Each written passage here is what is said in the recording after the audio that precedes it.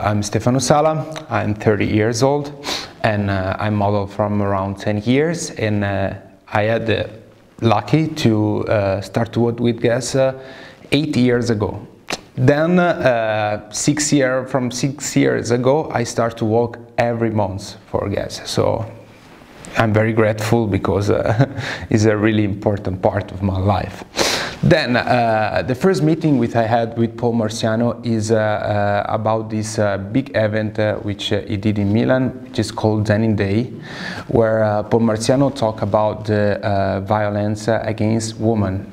So I really liked this event because he was talking very serious, seriously about this problem because it's a real problem that takes all around the world.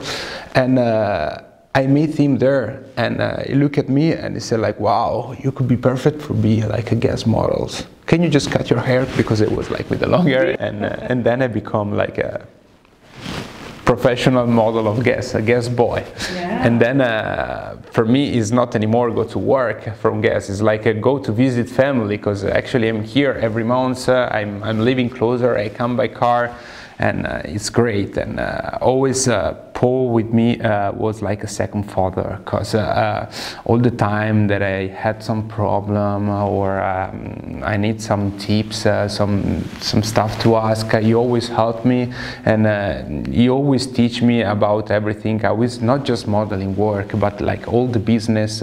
he came, he explained just to me how it works, the clothes, the, the mm, everything. No, like I don't know. He asked me if I like the clothes, the new collection, what you think? Uh, if I say, no, I don't like this color, Paul say, you know, he said, I don't like this color, let's change. So I, I really feel a part of it, you know, and uh, it makes me feel like important, which is the most beautiful things that can happen to me. I told you, it's like a second father to me, and uh, and he's always happy, always positive uh, with me. Uh, he really liked to work uh, and he really liked to see people working and the secret of Paul is like to to make team but to be to be positive, to be happy, to be in, in, force, in power for make the greater things, the things better, you know. And that's the point, you know, because it's everyone everyone is happy, everyone uh, want to have a goal, have a how to say goal, goal, yes, no, goal. have a goal. They can uh, they can arrive with much uh, energy and easier, you know. Mm -hmm. To, to take the, the great result. So it's a really important thing which I learned from him and I will never forget. what can I say? It's, it's very easy for me like to to work with him also because he, he, he puts you on the top. He put you like uh, whatever you do is great.